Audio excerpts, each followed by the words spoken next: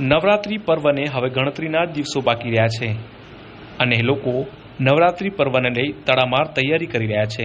ત્યારે ડીસાના આંસેડા ગામ ખાતે મુસ્લિમ પરિવારના પચાસ પરિવારના લોકો પોતાની હાથની કળાથી અલગ અલગ ડિઝાઇન આપી અને પેન્ટ કરી માતાજીના ગરબા બનાવવાનું કાર્ય કરી રહ્યા છે.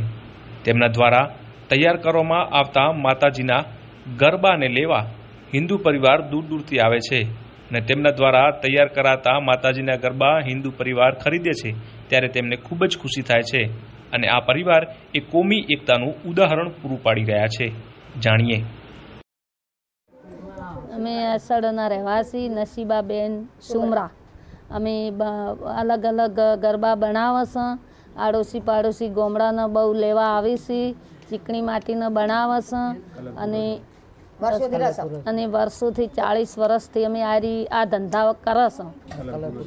અને અલગ અલગ કલર પૂરો છે. રાત્રિના એટલે અમે અમારે ખૂબ જ અહીંથી ઉપડે છે ગરબા.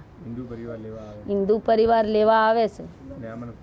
અમને ખૂબ આનંદ થાય. છે. અમે આગળ તમે અમને સહાય આલો તો અમે આગળ એ વધા. અમારો પરિવાર છે પંદર વીસ જણાનો. અમે આ ધંધો બનાવત છે કરત રહ્યો ગરબાનો.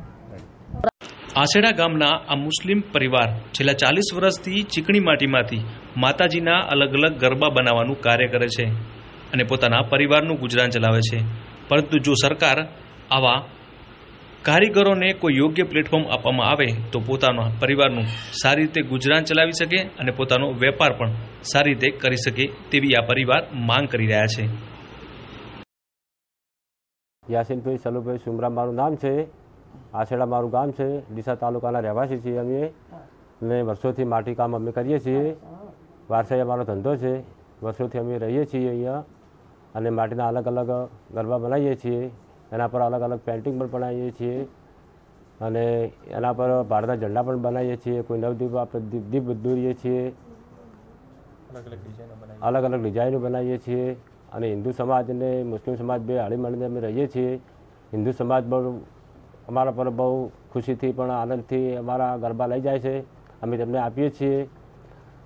અને એના પરથી અમે ગુજરાન ચલાવીએ છીએ. તે માટે અમે આગળ વધવા માટે સરકાર માટે સહાય માગીએ છીએ અને સરકાર અમને સહાય આપે. અમારો પરિવાર આના પર નભે છે. અને પચાસથી પચાસ જેવા અમારા પરિવારના કુટુંબ સભ્ય છે.